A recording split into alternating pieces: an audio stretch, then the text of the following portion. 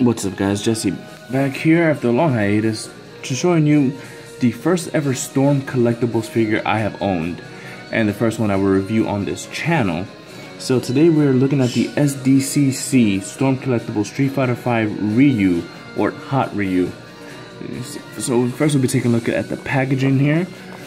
Awesome display piece. Bet you gotta see, uh, you know, picture of uh, Ryu and Street Fighter V uh, well, Street Fighter V uh, concept art and all that stuff. The box is pretty big, so we'll move this back a little bit here. This is back of the box. Looking pretty cool. Same picture there. Alright guys, any of you guys don't know, that is the Street Fighter V Ryu theme I have playing in the background, but we'll turn that off for now and take a look at this figure. Alright guys, and here we have Ryu out of the packaging with all his accessories showing there. First we have this awesome Street Fighter V base here. Just comes in a separate piece of the packaging. Just plug that in here, like so. And then you would just move this up. Creates a nice ratcheting sound. And this strong ratcheting joint there. So you know it's not going to tip over or fall off. Which is awesome. We have his uh, V-trigger effects here. They go on each arm, each hand, and wrist, I should say. You know, it's pretty cool. As an electric effect to any posing you do with him to go along with the game. His V-trigger effect is pretty cool. And here we have a nice head sculpt here. Showing teeth gritted Ryu with the epic beard. Looks like mine a little bit, you know what I'm saying? You know what I'm saying? For the ladies, baby. Here we have a yelling Ryu pose. And we have his the charging of his um well, I guess since they gave us the V-trigger effect, it could be the Denjin Hadouken. Because I, I, believe the, the normal Ryu probably comes with the, either regular Hadouken or the EX Hadouken or the Shinku Hadouken, either way. But this, you can have him as he's about to charge it up. Because in the game, he actually compresses it down, so it's pretty cool. Looks like that.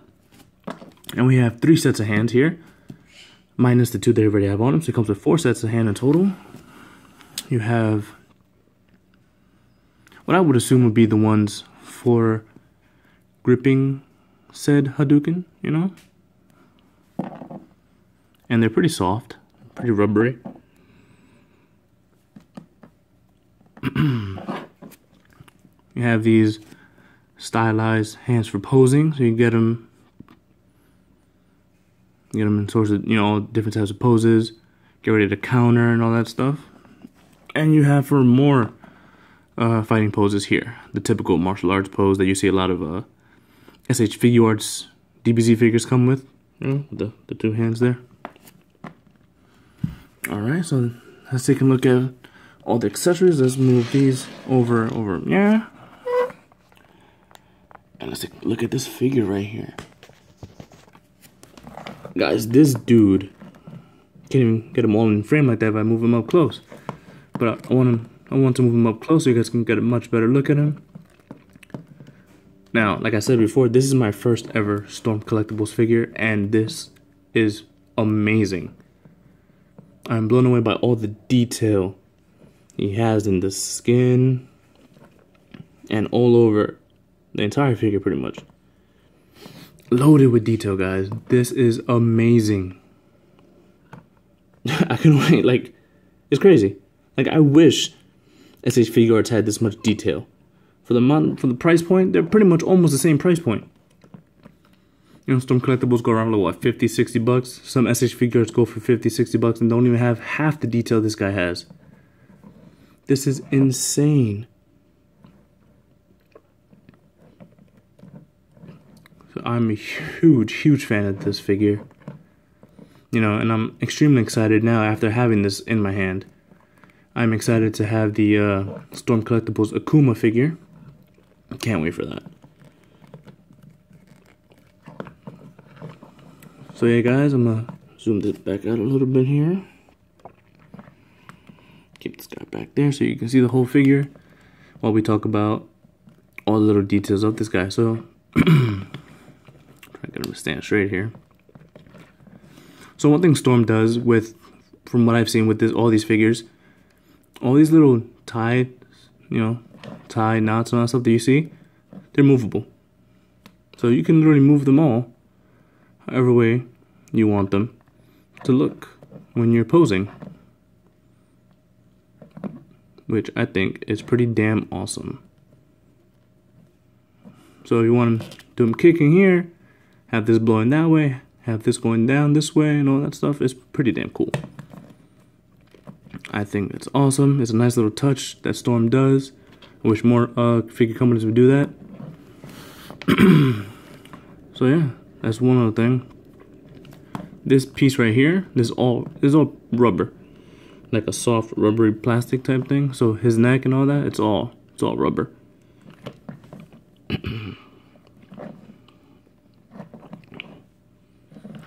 You have this uh what Playarts Kai likes to do is the, the floating crotch piece right here. There's pretty much like a rubber piece that will hide the, the T-joints that go down from the waist down to the crotch and into the legs. But it's really it's not loose at all. It's really tight, so it'll hide the joints pretty well. You know, like I wish it was a little looser so you can so when you know when you're posing it like it won't bunch up or get in the way but the joints are really tight on this figure, which is never a bad thing. Because it's not tight to the point where it's gonna break. You know, when you, you're worried about breaking it, it's just, it's really tight. And that's, that's always a good thing. I'd rather have a tight figure than a loose figure. Alright, so for articulation, his head goes about far that much. Like this. Pretty sure you can get a 360 if you really wanted to I don't see why you can. Moving up about that much down that far down, which is pretty cool. Arms go out about that much. You can do a full 360 with them there. You got the bicep swivel right there. Elbows go in about that far. So almost 90 degrees or just barely 90. Look like that. Got the almost the whole you know the Hulk Hogan pose going on there, brother. Move uh, this down here. Like I said, guys, these joints are really tough. got the butterfly joints in there. Move these out. So when you want to do the uh, the Hadouken. You know, you won't have any issues with that. Just gotta move the biceps around and, uh, you know. You posers out there, you figure posers, you know what to do.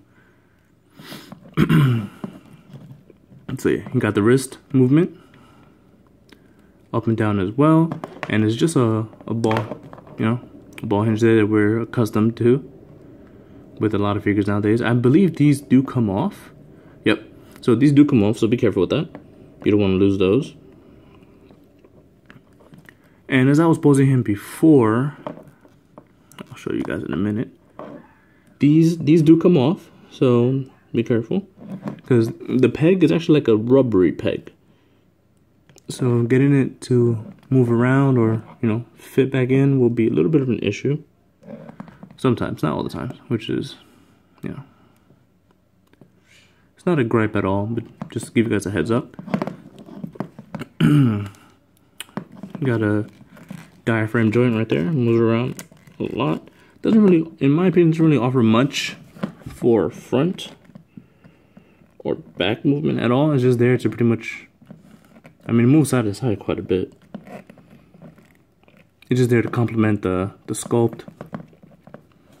The waist can move down about that far.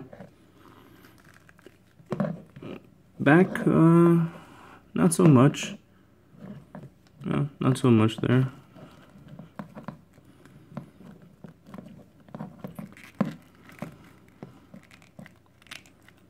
Yeah, fairly, fairly crunch there. But you can turn side to side and it's really good, really smooth, really easy to pose this guy. So that's pretty awesome. Storm did a really good job with that. His legs, oh, bandana just fell off. keep that off for a little bit. His band, uh, his bandana. Um, like I said, his belt over here. Can turn it around. It's pretty cool. So here we go. His legs can go that far back, that far out. I mean, front. I seem to have a little bit of trouble moving this leg more than more than the other one. Like I said right here, you have the the floating crotch piece that's a little tight. So as you can see, that part of the leg came out a little bit. So it's kind of hard to maneuver back in there. But with a little finagling, you know, you can get it back in there. It's not a big deal. Pretty sure his leg can move out a little bit more. You know, but since this is my first uh, Storm figure and this is the DCC exclusive, I don't really want to mess with it too much and end up breaking it. I'm really upset if I do that. But going out is really cool, so you can get him into some decent kick poses. Knees bend, uh, well mine tend to bend around that much. Others might be different, like I said. Is my first SDCC uh, Storm collectible figure, so I don't want to mess this up. They've been about that far. You know, not bad. It looks decent. You can see all the, the textures in this. It's so awesome. I'm really, really pleased with this figure. Got ankle articulation, which is always a good thing. Got toe joints. You can see it just pop off there. So there's no problem. There's a bulb, ball joint in there. Boom. Goes in. Nice and easy. So you guys don't have to worry about it. And mine just popped off again. There. Got a little toe wrap in there.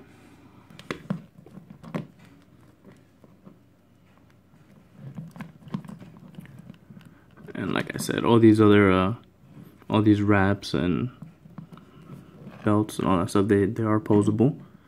Let's uh, put, Ryu's bandana back in there. Get him to a fighting pose. Excuse me, guys.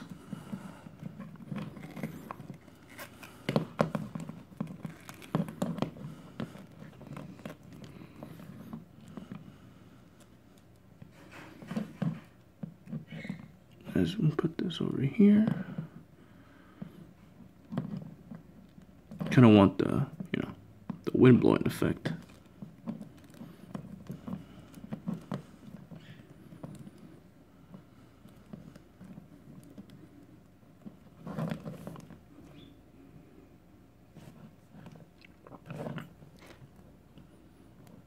What if we decide to have it blow this way instead, since it might be easier?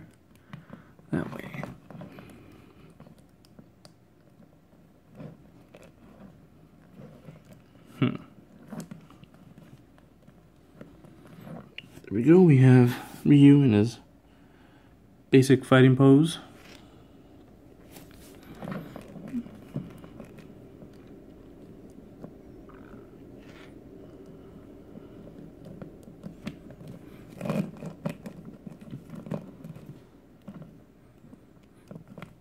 like I said, once you get uh, once you get to playing around with this guy, you start uh, being able to do things pretty, pretty cool. Like, whoops, sorry guys, I seem to have bumped into the camera a little bit. And for size comparison, if you guys don't know how big this guy is, here we have the SH Figuarts Ryu. Yeah.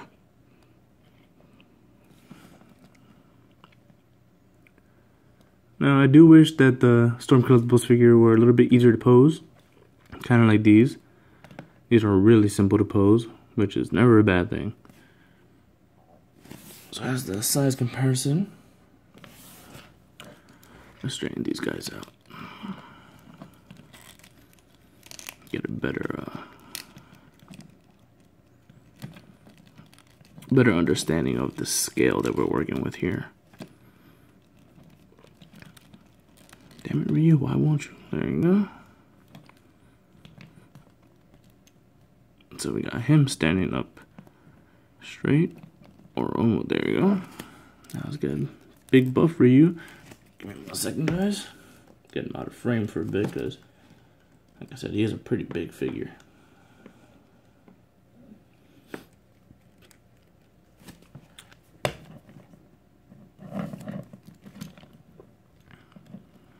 Try to get these guys side by side as best as I can. Alright, cool. So there we are. Side by side comparison.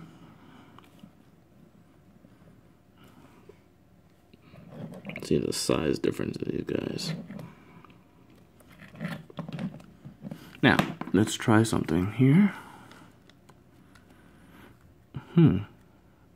I wonder.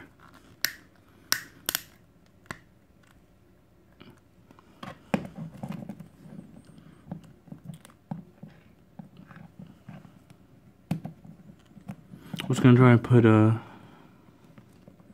Give, ow. Give me one quick second, guys. Alright, guys, I'm back. I tried to remove the head. I didn't want to finagle with it too much because it was making that, you know, ratcheting sound, so I didn't want to break it. Uh, check out my Instagram for some pictures coming up soon. At Jesse Zelada Customs.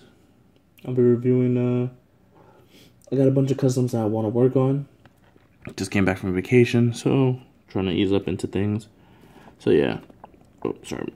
I'm trying to zoom out and get a full look at this guy. This guy is just so monstrous. It's awesome. So once again, Storm did an excellent job with this figure. Do wish that it was a little bit easier to pose, but once you finagle him, probably get him a little looser. You will not be disappointed. This guy is amazing. I do, and cannot say this enough, I do recommend, just by looking at this guy, having him in my hand, I do recommend every single Storm collectible figure out there. You know, they have, I know for right now, they have uh, Mortal Kombat and they have Street Fighter. They have a few um, Mortal Kombat characters. They have some Street Fighter characters out already. They have basic Ryu, Ken, Bison, and I believe Zangief just came out. So, lineup is getting pretty pretty expensive out there. But guys, if you have the money, if you have you know, the means to get these guys, please do. They are awesome. And uh, hey, Storm Collectibles, if you know if you want to sponsor somebody, you know, sponsor me, baby. I like your figures. but nah, guys. In all seriousness, this is awesome. I'm happy with this purchase. Is he's going on my shelf just like that. Later, dudes.